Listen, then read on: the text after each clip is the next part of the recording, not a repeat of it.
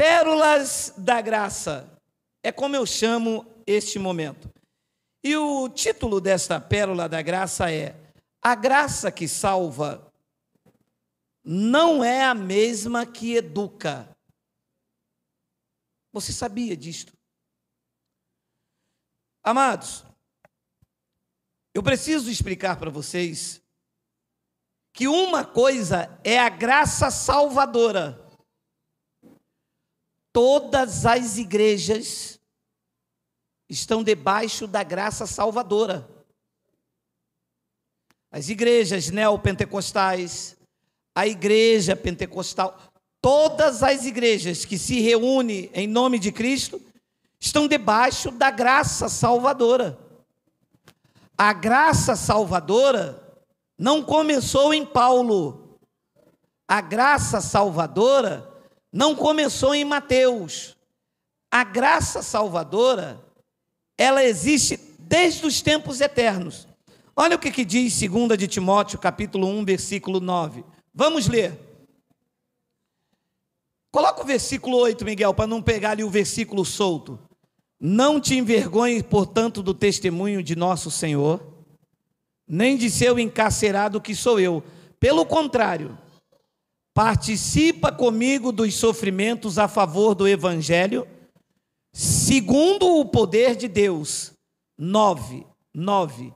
Que nos salvou, presta atenção no verbo, que nos salvará ou que nos salvou? Diga, estamos salvos. Estamos salvos. Que nos salvou e nos chamou com santa vocação, não segundo as nossas obras, ninguém fez nada para ser salvo, é por graça, mas conforme a sua própria determinação e graça, que nos foi dada no dia em que eu aceitei Jesus. A graça que te chamou e te salvou com santa vocação foi te dado quando? Diz ali que foi te dado antes dos tempos eternos. Significa que você já não fazia parte desse ambiente você andava lá fora e, por ser um escolhido de Deus, a graça salvadora já havia se manifestado na tua vida. Estava andando em desobediência, estava vivendo segundo a vontade da sua carne, guiado pela potestade do ar, do príncipe que governa, as emoções que governam este mundo, mas sempre foi um eleito de Deus. Então, esta graça que te foi dada antes dos tempos eternos, Pode estar numa pessoa que está numa igreja que nós chamamos aqui de igreja da lei. O que é uma igreja da lei denominada por, por nós, os pregadores da graça? É uma igreja que prega dízimo, que prega Páscoa judaica, eles chamam de Santa Ceia, é Páscoa judaica. Uma igreja que batiza em águas, esta igreja é uma igreja que observa os rudimentos da lei.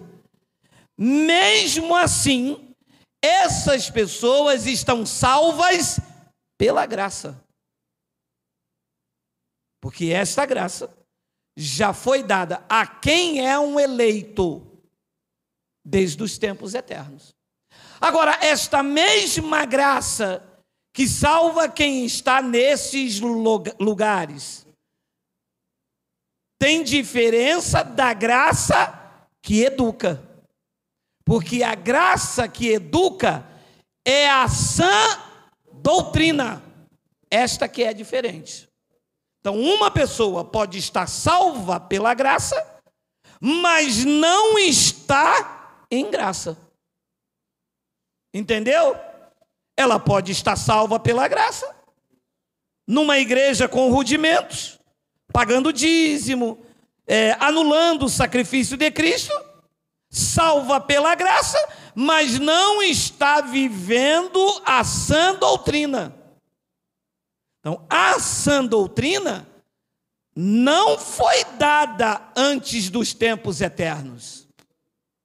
A sã doutrina foi revelado a Paulo quando Deus o leva ao terceiro céus e dá a sã doutrina para a igreja do novo pacto. Podemos ver evidência dessa sã doutrina no antigo pacto? Sim, há evidência da sã doutrina no antigo pacto. Como, por exemplo, diz que Deus pré-anunciou o evangelho a Abraão, dizendo: Em ti serão benditas todas as famílias da terra. É uma evidência, ele não anunciou o pacto todo. Ele não disse a Abraão sobre eleição, sobre pré-existência, sobre a justificação da fé. Ele não disse nada disso a Abraão. Ele pré-anunciou. Como pré-anunciou também a Abraão o evangelho da circuncisão à lei, mandando Abraão circuncidar. Abraão vivia a lei do liverato. Então, a mesma evidência da lei da graça em Abraão tinha também a evidência da lei. Então, se você procurar no antigo pacto, você vai ver evidência da doutrina da graça de Deus. Quando ele diz a Jeremias: Desde o ventre eu te escolhi. É uma doutrina da predestinação. São evidências. Então, Tito diz no capítulo 2, no versículo 11, algo que confunde as pessoas que não têm olhos iluminados. Leia: Porquanto a graça de Deus se manifestou salvadora a todos os homens. A todos os homens quem? A todos os que ele escolheu. Porque se a graça se manifestou salvadora a todos os homens, então Bin Laden morreu salvo. Então Hitler morreu salvo. Então quem cometeu atrocidade morreu salvo. Mas é que precisa entender que quem são esses todos esses homens? todos aqueles que ele escolheu desde antes da fundação do mundo, a graça se manifesta salvadora. Pode ser salvadora, mas não educadora. Não significa que quem está salvo pela graça vai conhecer o que você conhece. Então, esta é a diferença, que a graça educadora, ela tem um evangelho específico. E foi o que Paulo disse em Atos capítulo 20, versículo de número 24. Olha que lindo. Porém, em nada considero a, visa, a vida preciosa para mim mesmo, contanto que complete a minha carreira e o ministério que recebi do Senhor Jesus, leia, para testemunhar o evangelho da graça de Deus. Ah, agora não é apenas a graça salvadora, é a graça que tem um evangelho. Entende? Então, a pessoa pode estar salva pela graça e não viver o evangelho da graça. O evangelho da graça é específico. Ele tem uma doutrina, um ensinamento, como disse Paulo em 2 de Timóteo, no capítulo 4, no versículo 3, pois haverá tempo em que não suportarão o quê? a sã doutrina. Então, o que é que se procura viver neste ambiente? A sã doutrina. O que é saudável, o que é puro. Então, nós andamos de acordo com o que nós alcançamos e nos esforçamos para manter a pureza da sã doutrina. Ora, se eu pegar um copo aqui, como esse, água pura, oferecer aos senhores, os senhores vão beber. Algum pode dizer que está gelado, que está quente, que está fresca, não importa, mas a água está pura.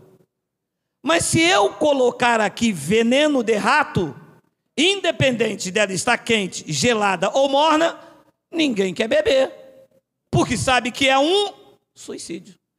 Assim é quem vive o evangelho da graça de Deus. ou a água está pura, cristalina, ou ela contém impureza. Posso estar salvo pela graça e bebendo uma água contaminada. E o que é que acontece? Ele diz: Pois haverá tempo em que não suportarão a sã doutrina. Este tempo chegou. Quando você oferece a sã doutrina, as pessoas não suportam. Por quê? Porque a quantidade de contaminação ingerida já já contaminou tanto ela que ela não consegue ficar sem beber sem, ficar sem beber. Ela vai achar o gosto estranho. É assim quem tem o pulmão cheio de nicotina. É assim quem está acostumado três horas, quatro horas da manhã beber um copo de cachaça para tremedeira parar.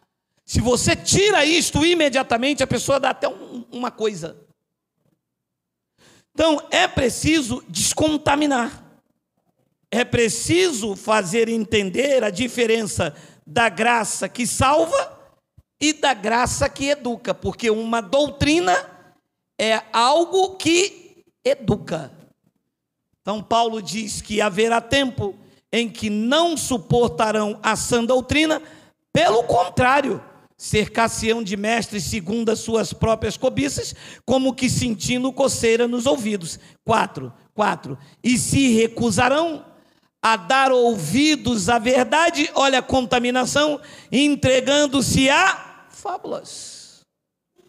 Então, este é o desafio: mostrar a você que nós não vivemos de história, nós não vivemos de fábula, e a nossa doutrina deve ser pura, o melhor possível.